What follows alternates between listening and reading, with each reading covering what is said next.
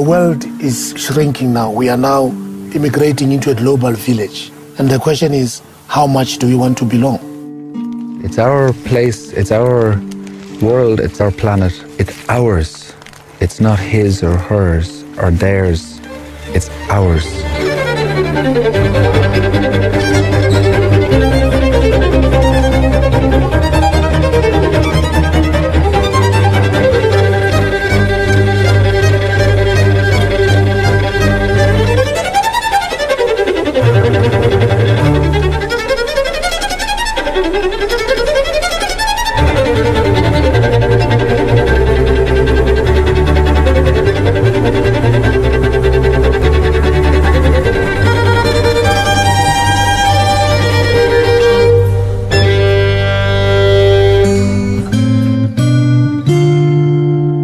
I'm away from all that I seek, never certain that this is the right or just thing to do. With all the madness which surrounds our lives, yours, mine, and theirs, we can find a way out of this madness together, to be not away from that which we are seeking.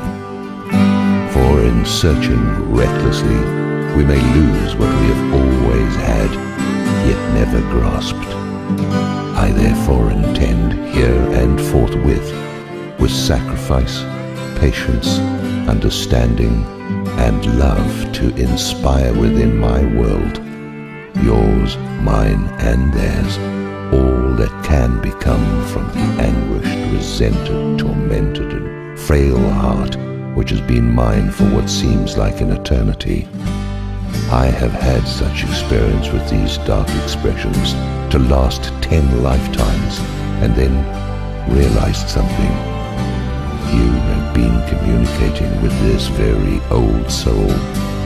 For indeed I have lived ten lifetimes and I have become weary of the journey. Could you not then refresh this old spirit of mine with your kindness and compassion? For these and many other reasons are the very things that I seek, yet have been denied due to the mundane, narrow-minded view of what some might describe as justifiable